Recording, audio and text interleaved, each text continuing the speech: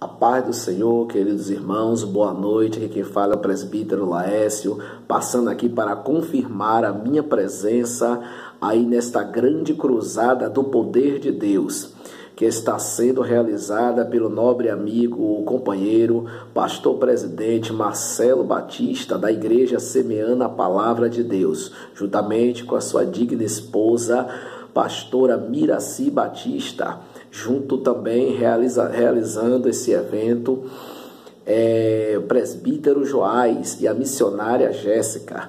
Queridos, eu quero fazer um convite também para vocês que estão me assistindo. Traga a sua família, convide pessoas enfermas, convide as pessoas, pois Deus tem uma palavra. Nós estamos fazendo um grande clamor lá pela sua vida. Eu tenho certeza que Praça da Lapa será abalada pelo poder de Deus em nome de Jesus. Não fique de fora, convide a sua família, traga a sua família e amanhã é neste sábado às 17 horas.